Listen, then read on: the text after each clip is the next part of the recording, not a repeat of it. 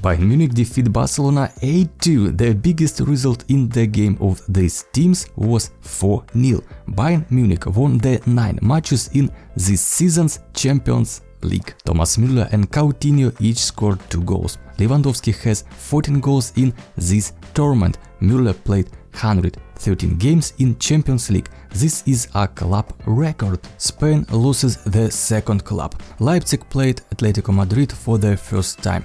2-1. RB Leipzig reached the semi-finals for the first time. Atletico lost for the first time since February. Atalanta and PSG 1-2. PSG reached the semi-finals for the second time in 25 years. The French club has 11 consecutive wins in all competition.